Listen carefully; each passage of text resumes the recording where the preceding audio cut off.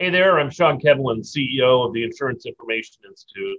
Like IIS, uh, III is now part of the Institute. So we're both affiliates, uh, part of a uh, nearly 20 member affiliate organization.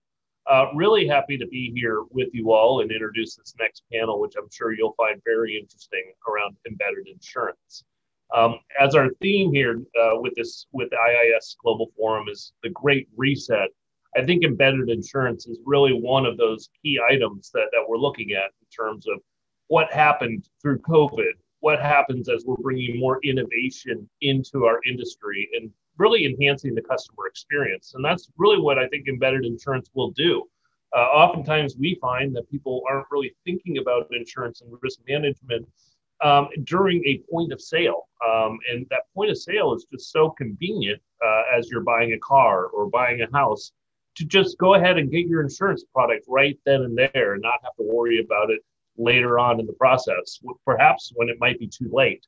Um, so it makes the, the point of sale and the transaction of insurance much easier, I think. Um, and really, we found that this embedded insurance is coming through a lot of the digital enhancements that we're beginning to see embedded into the industry as well, pun intended. Uh, so with that, I think you'll also find that this panel has a really a broad range of global risk management perspectives, which is going to make this very interesting. So I'd like to introduce to you now Jamie Crystal. He's the executive chairman of MIC Global. Um, he'll be our moderator for the panel, and it'll feature both global and, and regional perspectives, as I mentioned. And remember, the title here is Shaping the Future of Distribution Through Embedded Insurance. Hello, and welcome to Shaping the Future of Distribution Through Embedded Insurance. My name is Jamie Crystal. I'm the uh, executive chairman of MIC Global. MIC Global is a microinsurance and embedded insurance specialty company. We just launched a syndicate at Lloyd's in July of this year, and I'm very pleased to be here with you today. I am joined by uh, two of my uh, colleagues on this panel uh, Bruno Scaroni, Chief Tech uh, Group Chief Transformation Officer at Generali, and also with Eduardo Fábrega at ASSA, uh, ASSA Corporacion. Uh, thank you, gentlemen, for joining me here today, and I'm looking very much looking forward to our discussion. Embedded insurance is about getting more affordable, relevant, and personalized insurance to people when and where they need it most. Um, embedded insurance has tremendous potential to help close the protection gap, which is the difference between the level of coverage that is economically and socially beneficial and what is actually brought, bought. It has been described as a $3 trillion market opportunity. Um, embedded insurance more generally is part of a broader movement towards embedded finance about getting more affordable, relevant, and personalized financial products to people when and where they need it most. It's enabled by taking insurance functionality and combining that with technology so that we can partner with third party organizations, what I call platform partners, can implement and seamlessly incorporate attractive either risk mitigation solutions or insurance products into their customer journeys. For insurers like us, it creates a potential for lowest, lower cost distribution uh, for individuals and their firms to. We do that by gaining, by leveraging data and um, enhancing product innovation. For investors and tech op- entrepreneurs, it offers opportunities to create valuable new ventures. And for me, most importantly, for society as a whole, it helps as I noted, to, protect, to close the insurance protection gap or the difference between the level of coverage that is economically and socially beneficial and what is actually bought. So here we are today. It is uh, we're closing into the fourth quarter of 2022, and embedded insurance has been around for some time. It is starting to gain substantial momentum, and I'm going to begin by asking our first question uh, for my panelist is embedded insurance a board level priority for your company? And if so, why? I would like to ask Eduardo to start our discussion. Thank you, Eduardo. And thank you, Jamie. Uh, and thank you for uh, IIS for, for letting me participate in this panel. Um, and yes, and to answer your question, is is at the core of our strategy uh, at the board level. And, and maybe I can share a bit, a bit of a, a background and context. Uh, let's say from 2008 to, to, to 2018, we expanded our, our, operations from our home base in Panama into the six countries of Central America. Uh, also a JV in Colombia and we started uh, reinsurance operations in, in Bermuda.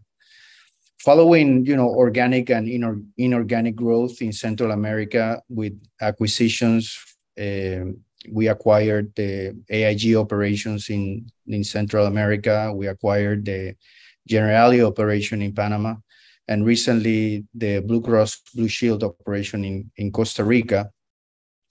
In 2018, um, I went with my CIO to one of these IT conference, and day one of the event, I learned that the industry digital level of maturity, let's call it from one to, to five, was at two and a half, but only as a result of increased investments uh, on optimization of processes, contrary to real investments in, in digital as a means to transformation. Um, so in, in 2019, entering strategic planning session with my board, I asked them to support me and my team in answering, you know, five strategic questions that continue to be relevant in ASSA and I assume everybody's company, you know. You know, how can we create a, or how can we improve value creation uh, was one of them. How can we unlock talent um, and demand uh, from customer experience and how can we overcome uh, stagnant in productivity uh, how can we reimagine our employee value proposition and, and our talent retention? And of course how can we widen the purpose uh, of the industry and the role in society you know and and out of that uh, discussion um, you know, we prioritize our efforts and initiatives behind nine levers. Six of them uh, enable um, embedded insurance for ASSA today. Uh, you know, the six being product innovation, customer experience, engaging in ecosystems and insurtechs, um, scaling of the analytics. Um, one big initiative which is modernizing our core platforms um, and reskilling of our talent. Um, so, you know, the reason why um, I think it was it, it, it's easy. I mean, we, I felt that in 2018 that we were really behind uh, the, the the market. So that's wh- why we pushed this forward. Thank you, thank you, Eduardo. And uh, Bruno, I'm going to pose the same question to you. Uh, is embedded insurance a board level priority for your company and why?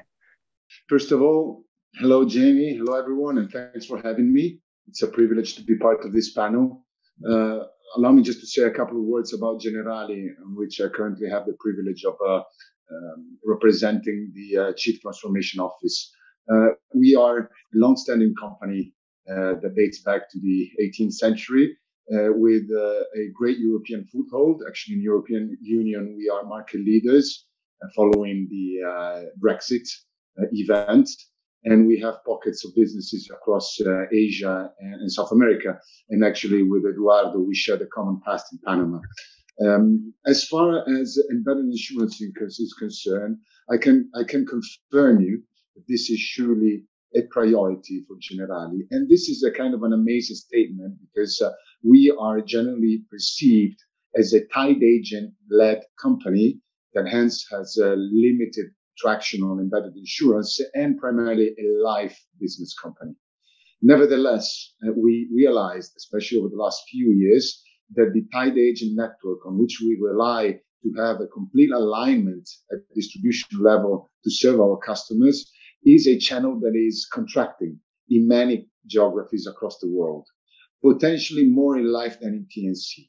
And hence we need to find other distribution means, some of them being traditional distribution means like say bank distribution agreements, but also embedded insurance can be a significant part in order to capture growth because most of the growth that we see on the market is being unleashed by the combination of uh, embedded insurance and digital.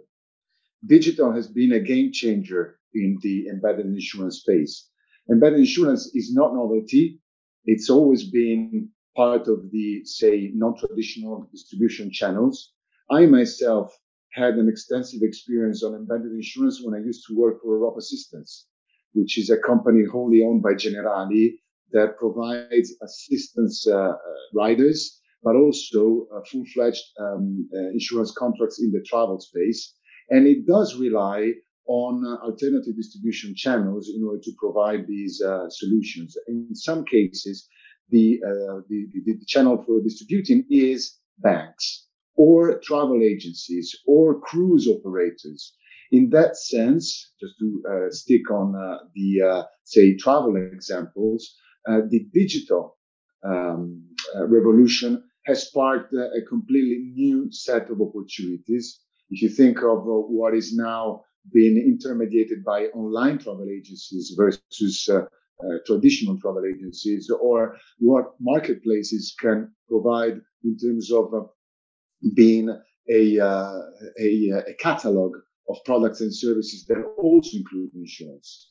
So all in all, I have to say that uh, we are pursuing embedded insurance opportunities, mostly in the retail space, and mostly to try and beef up the value proposition that we give with our traditional reimbursement um, capabilities with prevention services and assistance in uh, mobility, in health, and generally speaking, in individual retail products.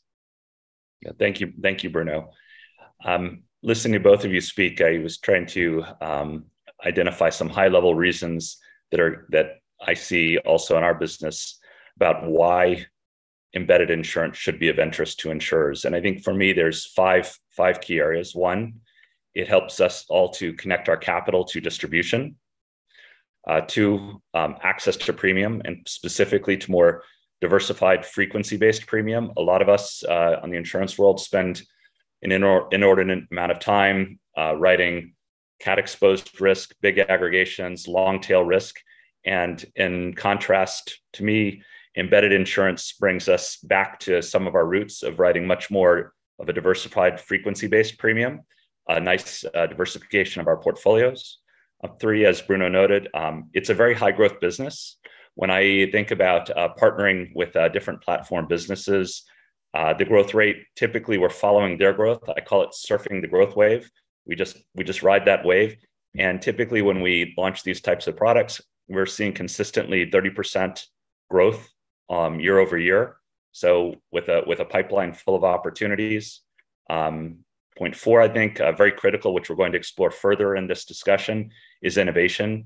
How do we connect um, the uh, changes in our society with the growth in technology? And last, which is which is critical to all of us running our businesses, is how can we access new forms of premium in a profitable way? So um, I think we're off to a good start.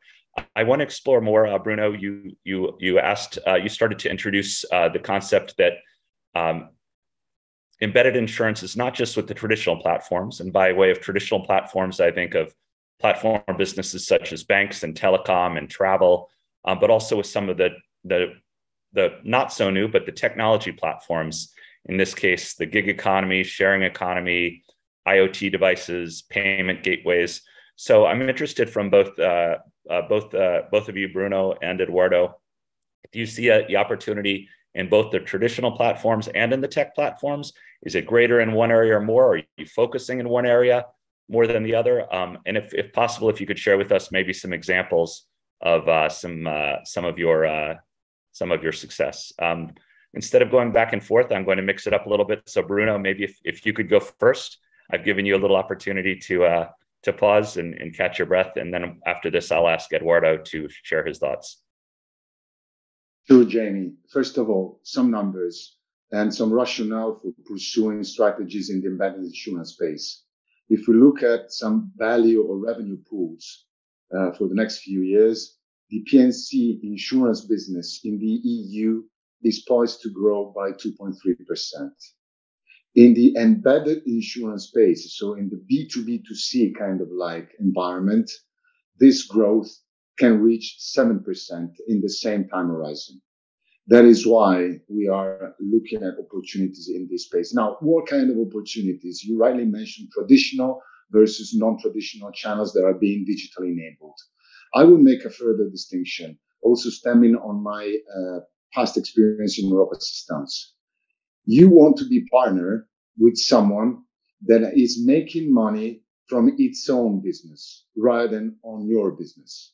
What I mean by this, if you take, for example, online travel agents and uh, anything that relates to uh, sales of uh, flight tickets, the usual dynamic is that uh, these companies would buy flight tickets uh, from carriers uh, and they would actually lose money because they would eventually promote the same ticket with a lower fare. And how would they make money? Out of the insurance that is being bundled with the same product. This is where I think you are finding the biggest hurdles to make B2B2C or embedded insurance profitable because you are dealing with the partners that rely on you entirely for their profitability. Let me make you one other example. If you partner up with a cruise operator, say uh, Carnival, Costa Crociere in Italy, MSC, uh, you, Silversea, you name it. These folks, as partners, they make their profits primarily on renting cabins. Then on top of that, they make another, say, additional margin of profitability on the travel product. I'm just sticking to a travel example because I think it makes things a little bit clearer. If that is the case, which partner you would opt for? Surely the one that does not need you to rely upon for its own profitability. Rather, you are an additional profit generator.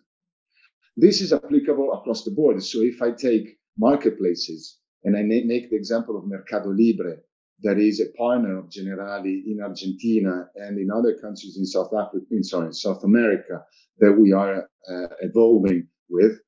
I mean, Mercado Libre makes money in Argentina, for example, by uh, dispatching products, goods that people are buying. Then eventually it might bundle some insurance coverages, say extended warranty on some of these products, or given the one click away kind of dynamic in terms of relationship with the customer, it would make an even more compelling, uh, say, sales process to customers to acquire certain uh, contracts in the insurance space.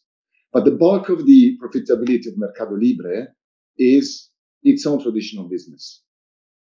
It would be completely different if we were in a marketplace where the only product being made available is insurance. So all in all, I see opportunities in the telco, in the retail, in the utility space. The one thing that one needs to really bear in mind is making sure you find partners that have other pots of profitability rather than just yours. Because if that is the case, you are getting stripped on commissions and profit sharing, but also it, there is a tendency to um, cover the value proposition of the insurance coverage for making sure that claims do not occur. And this is a short-term gain because embedded insurance is something that client needs to value in its purchase. If it doesn't value it, well, he or she, I mean, it doesn't value it, sooner or later, there's either going to be a cancellation or some disgruntled customer that has been paying a price for something he has not enjoyed. He or she, of course. Thank you. Thank you, Bruno. And uh, Eduardo, if you could if you could share your your thoughts and experience uh, with the group as well, specifically um, your experience working with traditional platforms such as banks and telecom, as well as with some of the the new newer tech platforms. Yes, I couldn't agree more with with Bruno. And and and and in other words, I mean, uh, the key for us has been selecting the right partners, those who own really the live event uh, and can offer the insurance behind the scenes. Uh, that's that's what that we're that we're looking for. You know, how to bundle for customers in a manner that solves the need for that live event without having really having the customer make an insurance decision. Um, and and of course, Jamie, uh, in in Central America, uh, you know, short and medium medium term, um, it's it's it's it's all about uh, you know traditional tech platforms. such as banks, telco, um, and and and banks uh, primarily. No, the the use of of IoT um, we'll see it more more long term, more as a means to processing uh, on event in an uneventual way uh, task for for customers involvement as much as possible. No, so yeah, I, I, couldn't agree more with uh, with with Bruno. Um, you know, in terms in terms of of, of, of key success, you know, from from from my experience,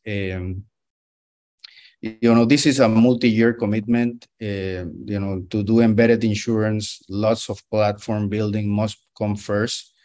Um, you know, we don't you don't have to uh, immediately expect uh, returns. Uh, so yeah, it, it it requires major commitment from from the organization.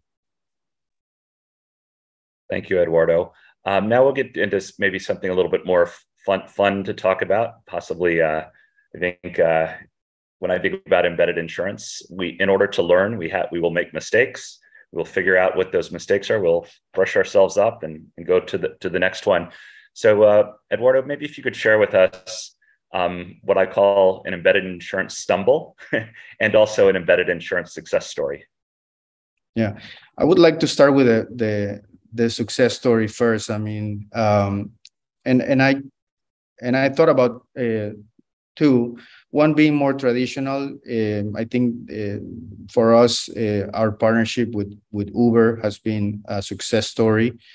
Um, we basically insured uh, all the rides and the passengers for every ride uh, here in, in Panama and, and in Costa Rica. Um, that's worked fantastic. Uh, we use, I mean, we use their platform and it's seamless for the customer. They have insurance once they they ask uh, for the ride. Um, so that's more on the on the traditional side. On the non-traditional success story, I, I think of uh, our insurance product um, that we launched launching in Colombia called Café Seguro. Um, we co-own uh, Blue Marble Microinsurance.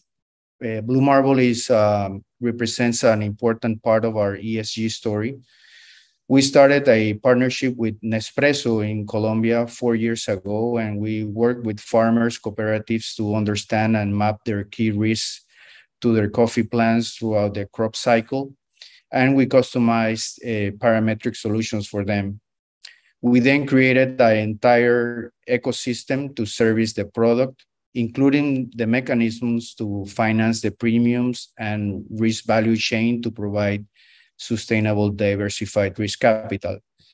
Um, this was a start of a long journey to provide insurance protection to all Nespresso coffee farmers worldwide, and we are expanding this venture uh, into Guatemala, Indonesia, Kenya, and Zimbabwe. And we have plans to reach out for more. Uh, as of right now, this program serves about 12,000 uh, small farmers in, in Colombia, and we're looking to expand it to 38,000 next year.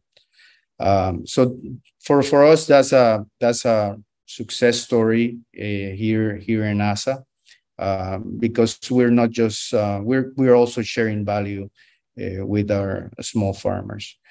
A stumble, um, I think about um, our our travel business, and and it had to do more with uh, partnering with the wrong uh, provider, and our web application was a usability nightmare, and we had delays for about eight months. So um, replacing it and doing it internally is at the core of our digital lab right now.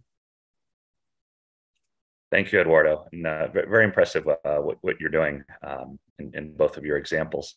Um, Bruno, I'm going to ask uh, the same for you. If you could share with us maybe uh, some of your uh, insurance stumble, an insurance stumble, and an insurance success story.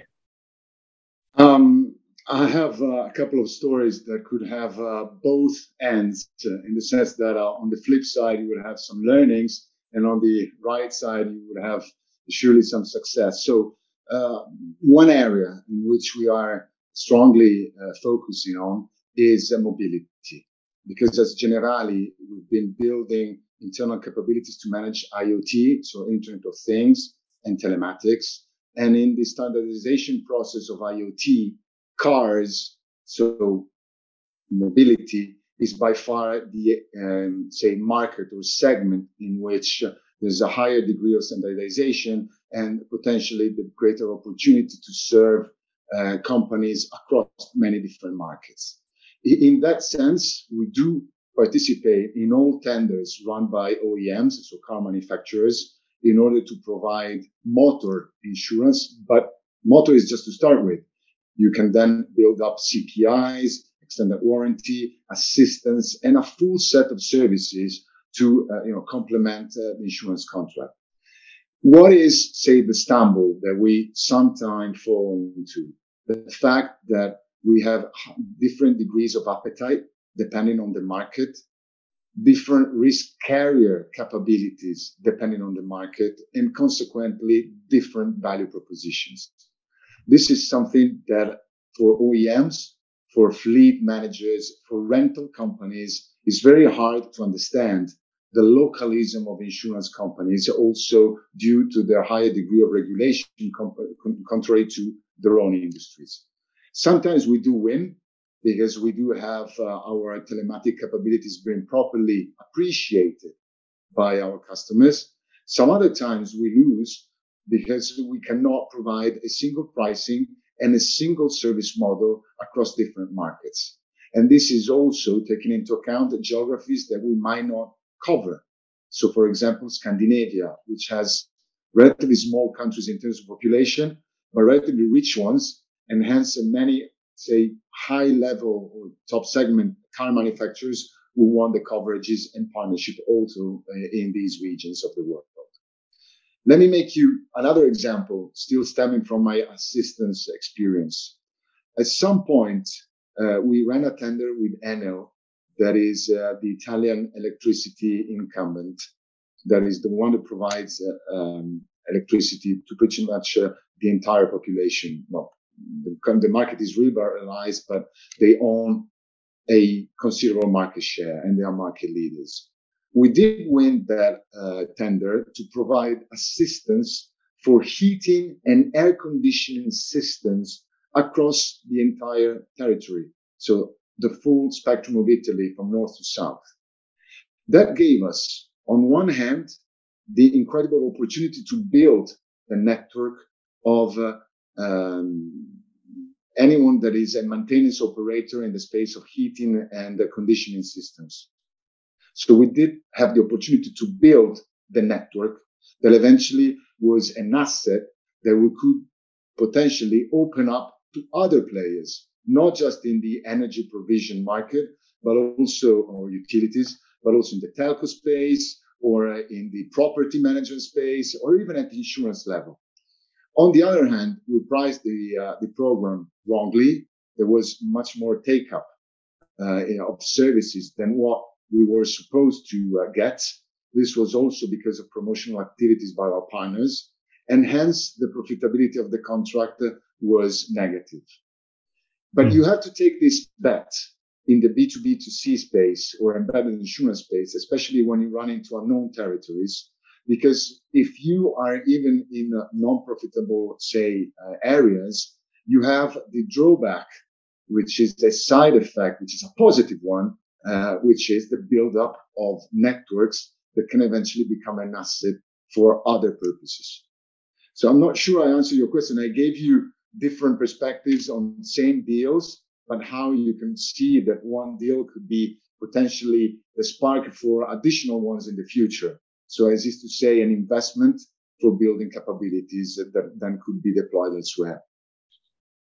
Thank, thank you, Bruno. I think um, th- this is both the challenge and the opportunity in the embedded insurance space. When I'm discussing uh, our strategy within our company, MIC Global, I think of uh, four areas that we focus on uh, with kind of to be to provide forward-thinking digital insurance solutions uh, with our partners. Uh, first is we tried to make sure that we are providing very simple and relevant embedded insurance for platform businesses, their customers, or their service providers. And simple because you we, we need the technology to be able to drive the process with straight through processing to take the frictional costs out. And relevant because I don't necessarily want to provide cracked screen insurance and sell it in a restaurant. That just to me is not relevant. So trying to find those partners where the insurance offerings are relevant and consistent with their business. The second one is to be able to leverage technology and principles of straight through processing to create embedded insurance solutions for the platform businesses. Um, if we're not really providing anything uh, unique and making the customer journey more um, more uh, direct, then we we run the risk of not adding value to uh, the platform partner or to their customers. Third is um, I think there's a tremendous opportunity, and I was listening to something that uh, Bruno you said earlier about not just trying to sell insurance on a platform so they can make their money there, but how do we try and find ways where we can enhance the brand or differentiate the product in addition to driving the revenue for our platform partners. And I think that's the key is to find those special use cases. And I think Eduardo, your example with Nespresso is a very, very, um, very good one. Uh, being able to not only help their business because by helping their small their farmers throughout Colombia and in other countries, um, that is their source of product, that is their supply chain, but also to be able to have an, an ESG impact um, kind of ticks multiple multiple boxes. And lastly, is I, I think the, the, core of embedded insurance is we're all are able to provide when we're able to provide highly relevant insurance that is accessible and affordable and efficient. We now are able to extend a critical safety net to people that do not have ready access to insurance. So I think for me, it is a core business, both providing growth and profitability, but also having uh, having a social impact. Um, now, I know for for my experiences, and I'm expecting for yours, and I think you each alluded to this. Um, it is not easy just to decide in you know in a day we're going to do embedded insurance. How difficult is it to bring to market digital solutions? What are some of your internal challenges associated with this, and how did you overcome them? Um, Eduardo, maybe if I could ask you to uh, to share your your your experiences internally. Yeah, uh, uh, absolutely, uh, uh, Jamie, and, it's a challenge. Um, yeah, and and in in as I mentioned at the early uh, early in the in in the in the in the meeting, uh, in 2019 we decided um, to take on uh, digitalization of of ASSA, um, you know, by discussing three three alternatives. No, um, do a full digitalization of of our business, which I mean, ASSA is a, both a PNC and a life insurance company. Um, develop a new insurance company, a new digital insurance company.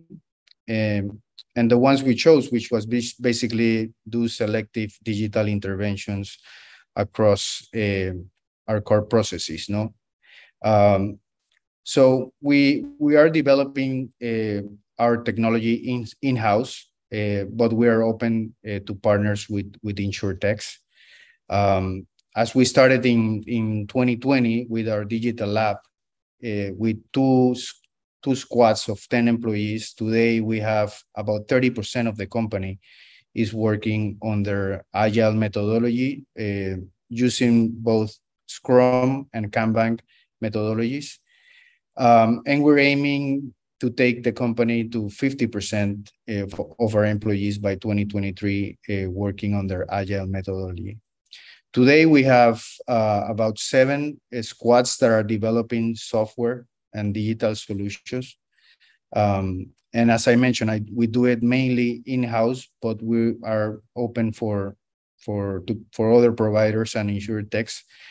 Uh, you know, we consider our countries are very small, and we consider that our technology and platforms represent a competitive advantage and and our core, capacity and know-how, um, and we want to keep it keep it internal. No, um, so far we have uh, out of out of uh, our digital labs good success stories uh, in terms of of scaling. Um, one of our squads, which is um, basically um, end-to-end uh, auto insurance uh, um, distribution platform um, we started with an MVP uh, 18 months ago, and to, today we are selling about 6,500 policies per month, starting uh, out of 3,500 pre-COVID, which is which is an, an important growth for us.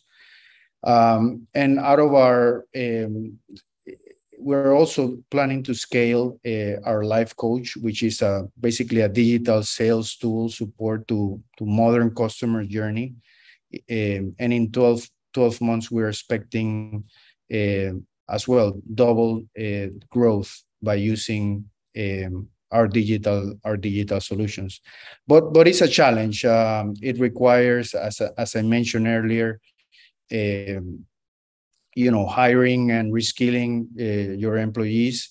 Um, i always suggest that um, you you get the your pos internally um, and you can hire your your UX and or and your UIs and your architects uh, from from outside. Those are difficult to get from your traditional company, um, and you know stay focused. Um, you know I spend about five hours a week uh, in in decision making groups, um, and we try to govern from you know efficiencies to enhancing customer experience and and building the needed data to support every decision that that that we're making.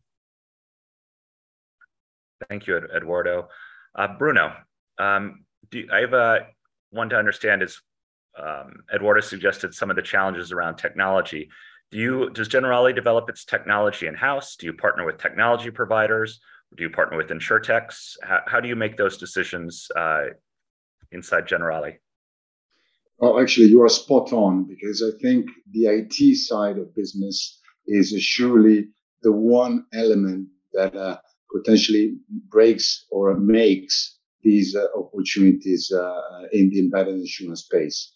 let me say that uh, traditional companies like us that rely upon tied agents they usually have legacy systems that are pretty uh, hermetic. They're pretty closed. They do not allow uh, to, um, you know, provide uh, coverages or riders onto someone else's platform.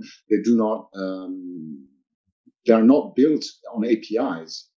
And hence, if you try to use uh, these systems, you're always going to be in a suboptimal state because you are trying to adapt. Whereas what makes the difference in the embedded insurance space, in my belief, is hunger. Hunger for distribution that you cannot build otherwise.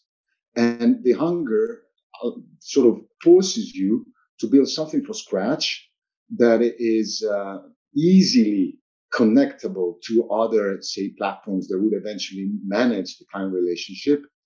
But it's not just the APIs or the connection, it's the buildup of the products if you want to build products that are geared towards embedded insurance, these need to be simplified products with very easy, say, selling pitches and uh, uh, you know processes and claims management that are far faster and potentially more appealing in terms of customer satisfaction than the traditional, say, management of claims that will run through claims department or even at agency level. So the IT side of the business is crucial. Now, in Generali, what we always try to do, especially when we believe in something and we have the size in that specific market, is make rather than buy. So try to build these solutions on our own because eventually we do not want to rely on someone else. But this is a general principle that does not apply across the board because in some countries in which we operate, we don't have the scale to go solo. And hence a buy solution is far more applicable and potentially far faster in terms of market delivery.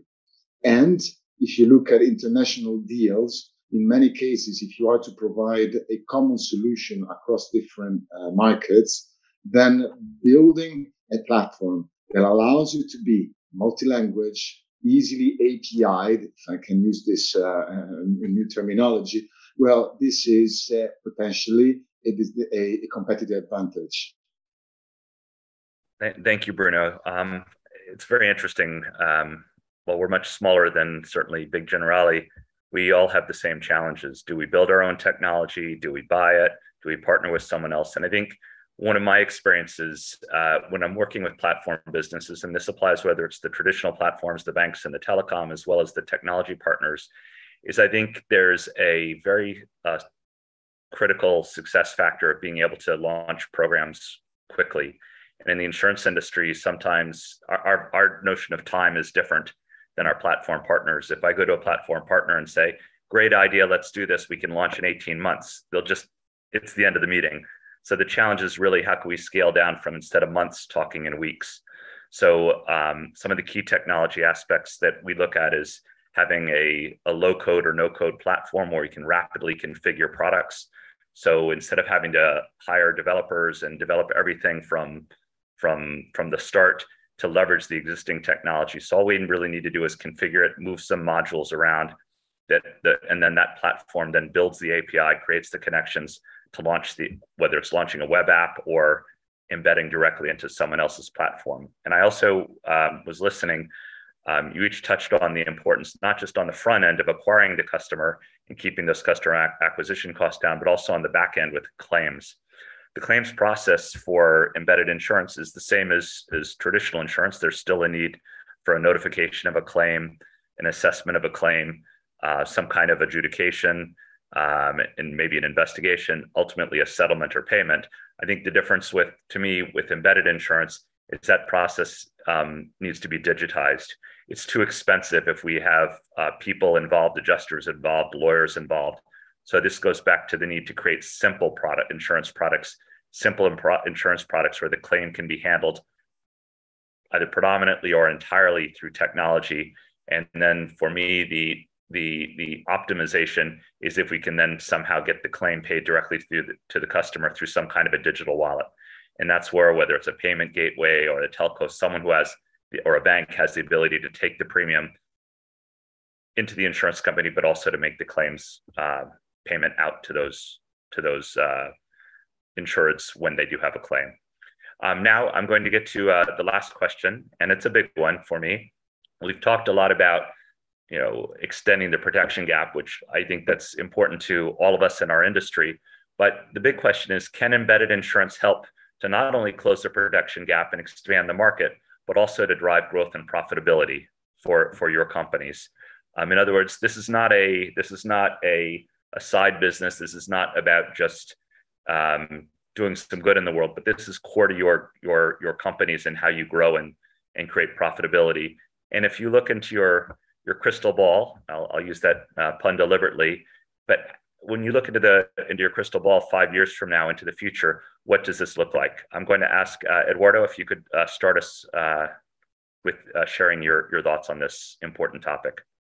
Yeah, sure. Um, and and the question is absolutely you know if if if this is a if this is a three trillion market, uh, it is a one billion market in in Central America today. Um, and, and as I mentioned at the beginning, I mean, em, em, embedded insurance and digital uh, is a means to uh, improving value creation, unlocking uh, unserved demand, customer experience, uh, and increasing in productivity. Um, I think um, um, the the pandemic, you know, events of the last two years, uh, you know, uh, got us in in a very strong financial position um, and we did dedicated most of our resources to um, to to think ahead, um, not just manage the the the, the pandemic, but so you know see for the future. Um, and we've drawn greater need for for automation and efficiency, and I'm glad we accelerated uh, our digital initiatives. Simultaneously, uh, we have expanded our, our business ecosystem vision uh, across uh, the, the six countries. Um, and our IT has ramped up uh, integration capabilities uh, to externalize um, our products and, and our processes. Um, so, you know, looking ahead, one of my goals is, is to continue accelerating this, we call it this first phase of embedded insurance, uh, whereby you know the traditional products uh, become more simple and are incorporated into marketplaces and platforms to approach that 1 billion on tap on unserved market for us Thank you, Eduardo. Uh, Bruno, uh, the same question for you. Uh, can embedded insurance help to close the protection gap and expand markets while also driving growth and profitability? And what does the world look like for you five years from now? Okay, let me be uh, provocative here for just one second. Uh, I am not sure that the rise and establishment of embedded insurance will ultimately change the paradigm of our industry as being a push business rather than a pull one. I'm not sure that people will find fulfillment in buying insurance policies on a standalone basis on digital marketplaces, just to be clear. That said, there's such a under penetration of insurance solutions across pretty much every market, also in developed economies, that I think having an additional channel that would ultimately propose insurance uh, to customers to cover their gaps, especially in the protection space, is something that I would welcome also from a regulatory standpoint. The only caveat uh, or point of attention is that embedded insurance needs to be embedded, but not too embedded, not to be uh, perceived as a value from customers, because otherwise it has a, an opportunistic stance that would ultimately become a detriment for the ones who provide these solutions, as well as change the perception of the value that customers have for what they've been purchasing. So it has to be something that we manage and we manage properly and we market properly. Also in the context of other channels we might use to promote products with the same brand, but with different features, potentially more sophisticated. And what I see in five years from now, well, I don't have a crystal ball for sure, uh, Jamie, but what I sense is that the opportunity at grasp is around building digital attackers that would allow companies to enter markets in which they do not enjoy established distribution means. And this can be an opportunity also in specific niches where technology and IT can be a distinctive competitive advantage with partners that are multinational. Where they are, this are referred to OEMs, for example, or uh, you know re- retailers in the e-commerce space, or uh, um, you, you name it, um, utilities, anyone that has the opportunity to market the same value proposition in different countries would ultimately benefit from an embedded insurance carrier that can be a compelling partner. Thank you. Thank you, Bruno. I really appreciate your, your comments. Um, Eduardo as well. Um, I think it's been a very interesting discussion. I hope our attendees for the conference have enjoyed it and it's possibly helped to help you each to understand more about how uh, ASSA and Generali think about the embedded insurance opportunity. Uh, the theme of our, our conference is the Great Reset, how the insurance industry will lead us forward. And I think embedded insurance is very much um, a part of this. While yes, we've all we've all had uh, seen the world struggling over the past uh, couple years, um, it has created some big opportunities uh, for us as well.